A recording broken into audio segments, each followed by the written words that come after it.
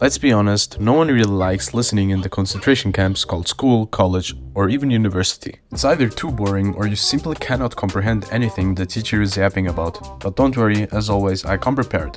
Here's my solution. I spent the last week working on a tool that would listen in during lectures, summarize it at the end, and save the notes somewhere. So you can technically sleep during every single lesson if the teacher doesn't catch you, all using free and open source tools. For this project, I actually chose two languages, Python and JavaScript. Next.js was my choice for the front end since I wanted a nice and clean GUI that can be easily accessed through the browser without much hassle. Flask is what I chose for the backend. I also needed some kind of database. For that, I chose SQLite as it's pretty lightweight and perfect for people with a limited amount of brain capacity like me. You stupid. They're not. What's 9 plus 10?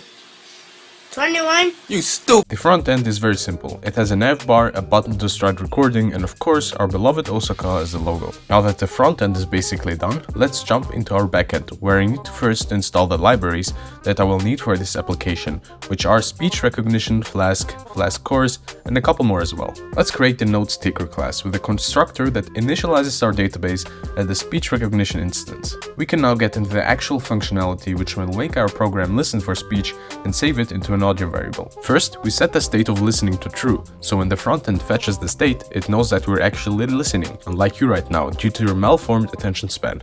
We loop until the listening state is false and use our microphone as our audio source. We then need to call the listen method on our recognizer instance and provide our microphone as our parameter, so it knows where it should get the audio from. Now here's where you can use a bunch of providers like Wit.ai, Google Cloud, Azure and many more. For the simplicity of it, I went with Google Cloud, even though they are one of the biggest monopolies ever recorded in human history.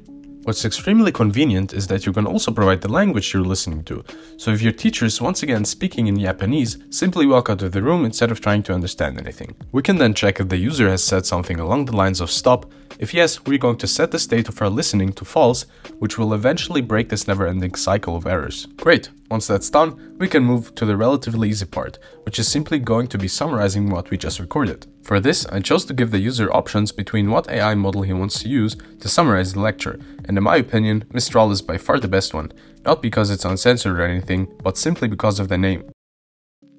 Llama was always a better option. All that's left is to save the summary into the database, send it back as our response and refresh our frontend page, and voila! Now to demonstrate, I pre-recorded a very real lecture and here's how you can access it. First, we look for the summary which we just recorded. We then click on it and now we can even toggle the transcript on and off if you want to know whether the AI is actually hallucinating or not. As always, the code is available on GitHub and with that, we've successfully climbed another mountain in our way of abolishing the traditional education system. Like and subscribe if you like this type of content and until next time. Bye bye!